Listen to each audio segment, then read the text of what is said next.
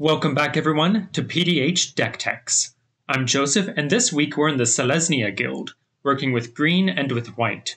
And our commander today is Wayfaring Temple. Wayfaring Temple is an XX elemental for one green white that has Wayfaring Temple's power and toughness are each equal to the number of creatures you control. And also, whenever it deals combat damage to a player, populate. So this commander takes us in a very specific direction but it is very powerful within that. That first ability cares about how many creatures we have on the field.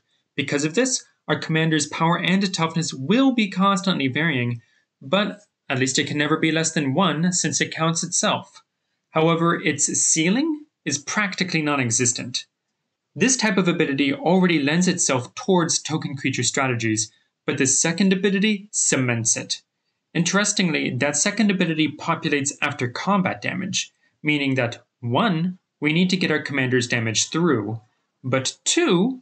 We're not limited to tiny token creatures, and we can do some very powerful things.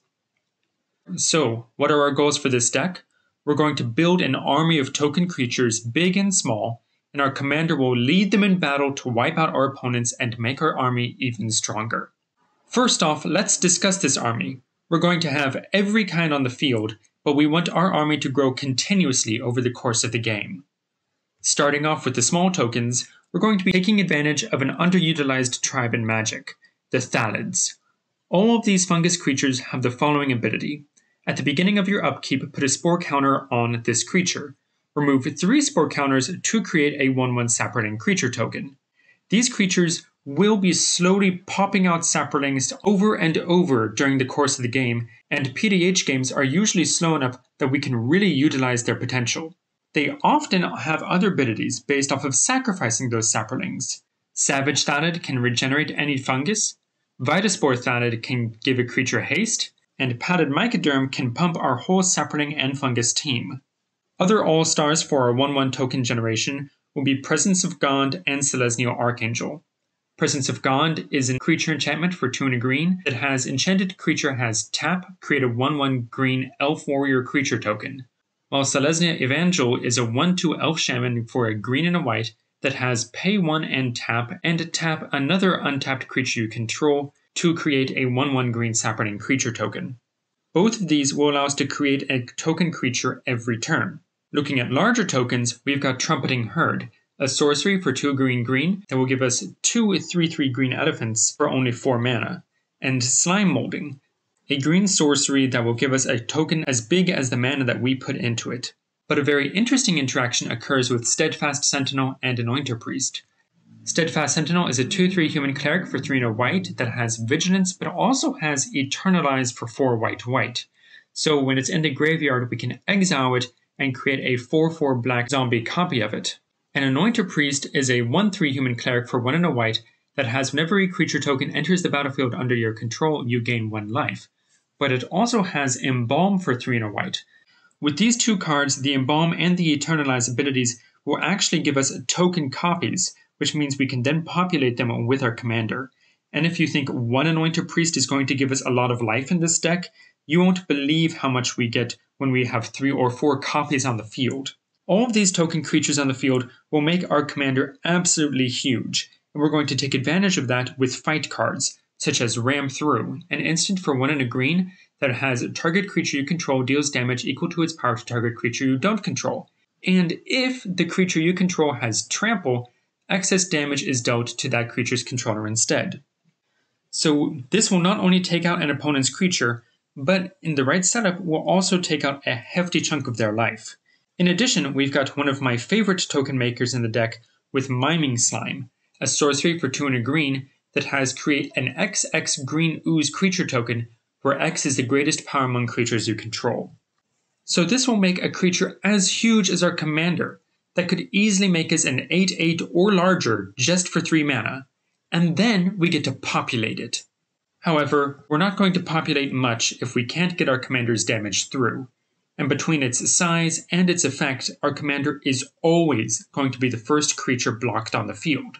So we need to get its damage through with trample effects. We've got several cards dedicated to giving our commander trample. For example, enchantments like Armadillo Cloak, which will give our commander plus 2 plus 2 trample and a lifelink, and Fists of the Ironwood, which will give our commander trample but will also pop out two saplings to boost our token army. We've also got equipment with Haunted Cloak that will give our commander trample but also haste and vigilance, and Vorrac Battlehorns that will give our commander trample and also means that they can't be blocked by more than one creature. Finally, we've got one of the best modal spells in the game for this deck Seedling Charm. This is an instant for green mana, and everything this deck wants is on this card. We want to protect our commander, Seedling Charm will regenerate it. Want to give our commander trample? Done. Want to interact with auras? Seedling Charm can return any creature aura to its owner's hand. I cannot stress what a good pickup this card is for this deck. But what if our commander gets knocked out? Well, we still have some one off populate effects to help us take advantage of our big tokens. We've got Druid's Deliverance and Rootborn Defenses, two instants that will both protect us and our board, as Druid's Deliverance will fog the combat, while Rootborn Defenses will make all of our creatures indestructible. And Sundering Growth and Trostani's Judgment are two more instances that will function as key removal, with Sundering Growth working to destroy target artifacts or enchantments, and Trostani's Judgment exiling target creature. All of these will give us populate effects, weaken our opponents, but also make us stronger. So, how are we going to win? We're going to swing wide and swing tall, and absolutely decimate our enemies. We've already got our army of tokens, but in swinging wide, we can give them a little help with Borrowed Grace, an instant for two and a white that has creatures you control get plus 2 plus 0 until end of turn, or creatures you control get 0 plus 2 until end of turn. And by paying an escalate cost of 1 and a white, we can choose both modes. And I really like this because it's modal, but we can also have both effects by just putting in a small amount more mana, so we get the best of both. So that's for swinging wide, but for swinging tall, we're going to be using our commander, of course. And sure, our commander is going to get trample, and yes, it is going to need to be protected. Now, I could talk about cards that give it a hexproof, like Tamiyo's Safekeeping and Sheltering Ward, or I could be talking about cards that will regenerate it, like one of my favorites, Fanatical Devotion. However, the best form of protection is going to be protection. We're going to use Mask of Law and Grace and Shield of Duty and Reason. Both of these are enchantments for a single white mana that will each give protection to two colors. Mask of Law and Grace will give protection against black and red, while Shield of Duty and Reason will give protection against green and blue. Between these two enchantments, our commander is going to gain protection from every color except for white. Protection is especially good in this deck.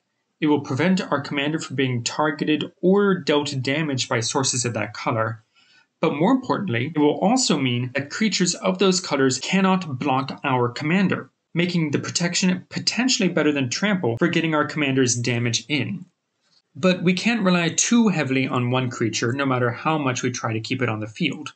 So we do have two backup commanders with Crusader of Odric and Scion of the Wild. Both of these are 3 mana creatures whose power and toughness will be equal to the number of creatures we have on the field. And just in case, we're going to have a secret weapon in our back pocket. Remember how we're going to be swinging tall and wide? Well, a lot of that wide is going to be little 1 1 creatures. And what are our opponents going to block? Not the little sapling, not the little 1 1 warrior. And that's when they will realize their fatal error. When they realize we truly have might of the masses on our side, where for one green mana, we can turn any creature on our board into a lethal threat giving them plus one plus one until end of turn for each creature we control. And that is our Wayfaring Temple deck. It certainly looks straightforward on its face, but there are some very interesting card interactions we can use to take this commander from powerful and turn it into a top tier threat. This deck is going to run us about $18.5. The deck list is in the description. Please like and subscribe and come back next week when we visit the last guild in our series, the Simic Guild.